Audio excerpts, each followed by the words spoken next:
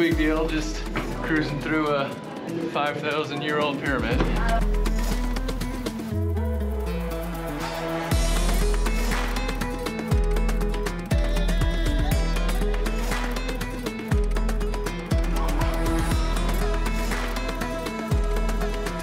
Hello, happy travelers. Welcome back to Egypt.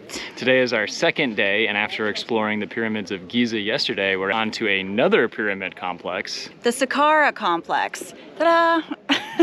At one point, this whole period complex was surrounded by this big wall, and this section behind us is the only part of the wall that's still left.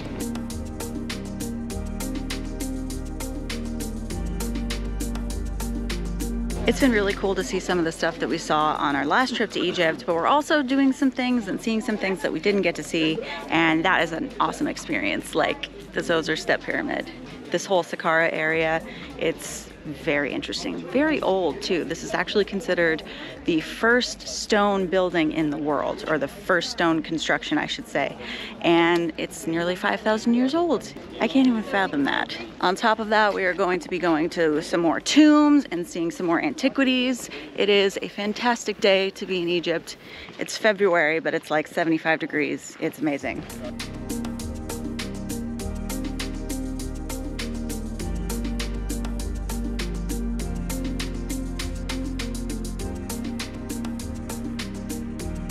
So that was one very long corridor that went to a huge hole that was probably like 90 feet deep. Our guide told us that this pyramid is different because a whole family was buried here. The other ones are just for one person. So there's different tombs all over this pyramid where different people of this family would be buried. The inside of the step pyramid has only been available to visitors for a couple of years. Even if we had come here the last time we were here in 2016, we wouldn't have been able to go inside. So think it turned out pretty well. So Saqqara is one of the areas in Egypt that there is a lot of active digging going on and they have uncovered some tombs here recently. They're still doing archaeological digs every day. We're gonna go and check out some of the newer tombs that they've just uncovered.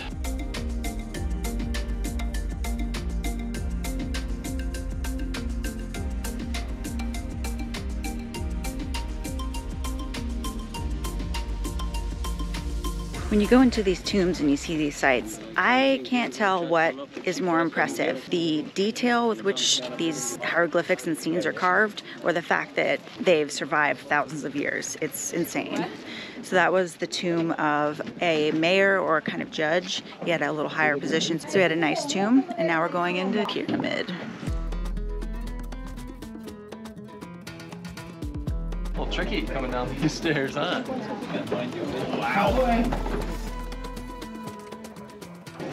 A little tight through here. No big deal, just cruising through a 5,000 year old pyramid.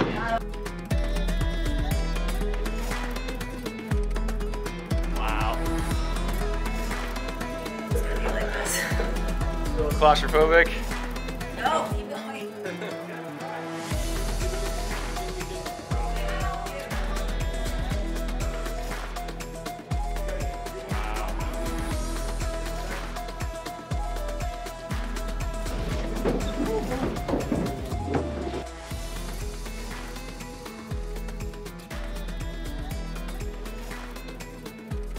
So we're stopping at the Memphis Outdoor Museum. Memphis was the first capital of ancient Egypt, and everything that they've found in the city of Memphis, they've brought to this one site and made it into kind of an open air museum. Just on the other side of this museum, there's this fence, and that's the whole like archaeological site right over there.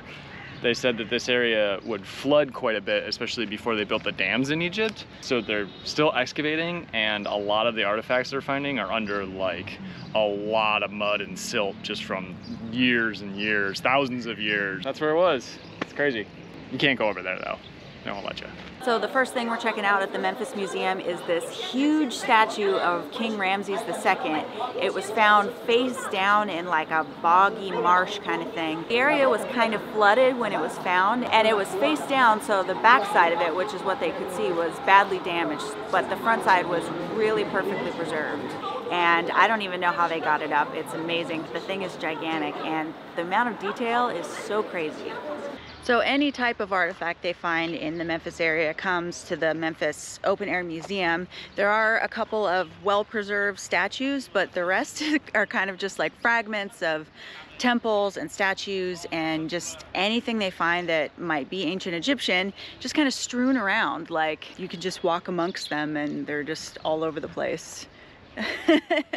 it's like an ancient Egyptian artifact graveyard kind of. Yeah, artifact boneyard. Yeah, it's kind of cool. Excuse you.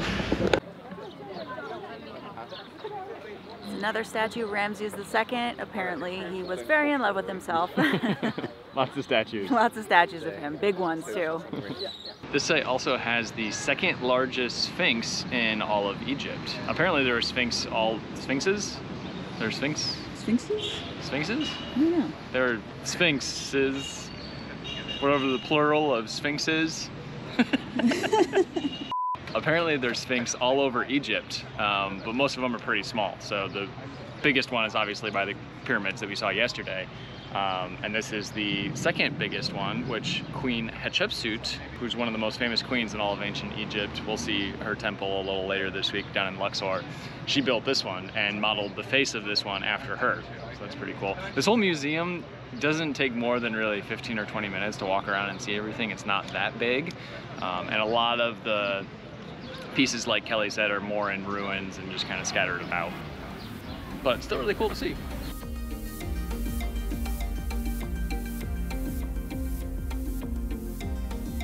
In Saqqara village, there are dozens of carpet schools, and our next stop was to see handmade carpets that are famous in this region. These schools teach local families how to make these carpets, and often the whole family will work on the same carpet.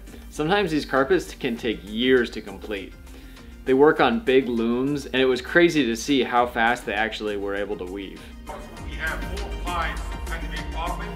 This is the first we have here.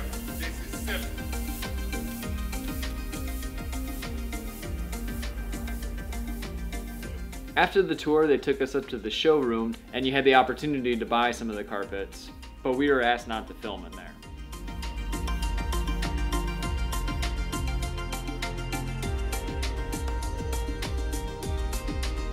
We have made it back to our hotel room. We mentioned this in our last video, but we're staying at the Hyatt Regency Cairo West, which is pretty close to the pyramids in the Egyptian Museum.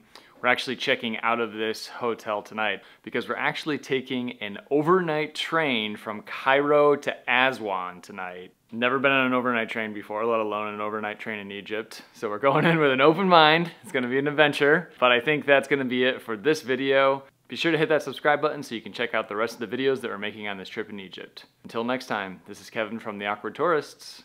Peace out. Here we go. It is cozy. Let me tell you what. All right, this is our home for the next 12 hours. It's so loud. Our hotel is on an island in the middle of the Nile.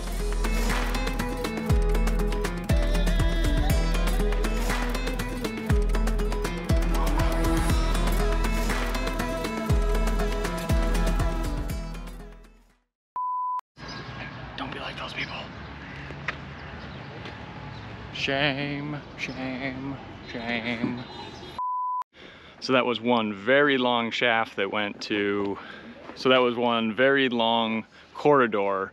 You can just stand up in here, barely, but it's just all about to stand up. Oh, did I say that? I hit my head. Apparently there's Sphinx all over, yeah, I almost said Europe. We're not in Europe.